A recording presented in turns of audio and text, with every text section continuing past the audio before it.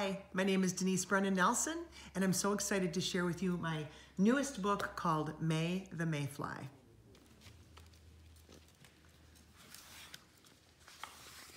Near the bank of the river, one warm spring day, a new life began, and her name was Mae. Mama held Mae in a warm, tender hug, then said goodbye to her sweet baby bug. You have your whole life, a day, perhaps more. Don't waste it, Mae. Use your wings and explore. Her delicate wings were feathery light, with a flit and a flutter, she took off in flight. There was so much to see and so much to know, but a dangerous thing was lurking below. It was big, it was hungry, it needed to eat. A newly hatched mayfly would make a great treat. Disguising its dark and deceitful sneer, it pleasantly said, Come closer, my dear. I have something here that you really must see, but you're too far away. Come closer to me. A voice inside her warned, Mae, don't go. But Mae didn't listen and swooped down too low. It sprang from the water, and that's when Mae saw two rows of sharp teeth and a menacing jaw. It snapped its mouth tight to gobble up Mae, but she ducked and she darted and somehow got away. Mae found safety in the hollow of a tree. She covered her eyes and tried not to breathe. Her body shuddered at the thought of trout. I'll stay here forever. I'm not coming out. But when her heart slowed, Mae heard a sweet sound. Peeking out slowly, she looked all around. A robin nearby gave a cheerful tweet, then flew to her babies with something to eat. The mist on the river was a fine pink cloak. A bullfrog bellowed his morning croak. Mae noticed the beauty of a web in the sun, the glittering silk the spider had spun. Mama was right.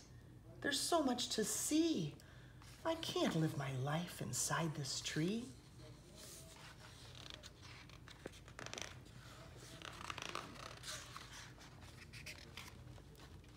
So Mae launched herself from the dark hollow place. A greeting from the sun put a smile on her face.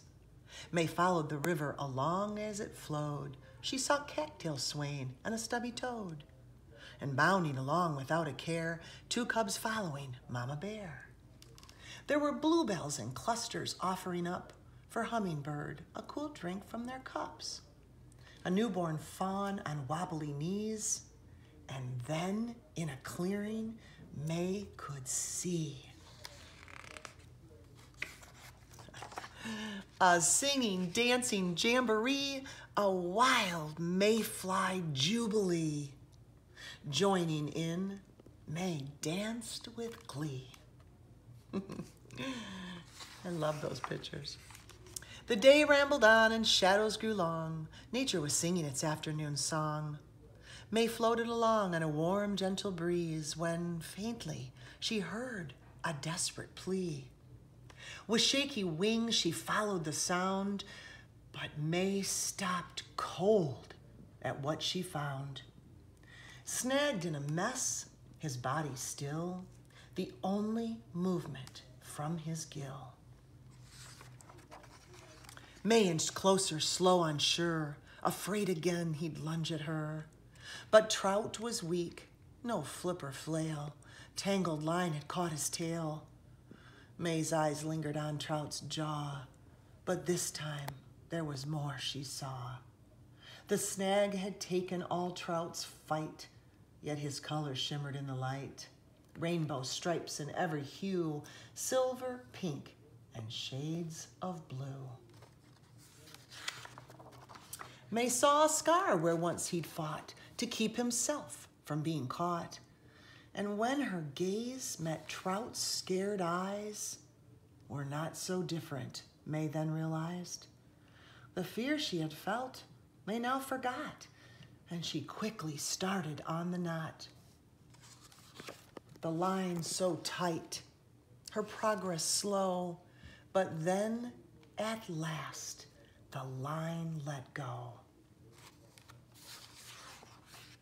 The river carried trout away. Mae wondered, will he be okay? The silence was broken with a startling splash. Scanning the river, Mae saw a flash. Breaking the surface and catching the light, Trout flipped his tail and waved goodnight. And then an echo on the wind that blew, two simple, precious words, thank you. Her spirits matching the river's glow, Mae settled in for the nighttime show. Crickets and bullfrogs played their sweet tune, while fireflies twinkled beneath the full moon. The stars came out early for sweet little May. She counted each one, then called it a day. The end.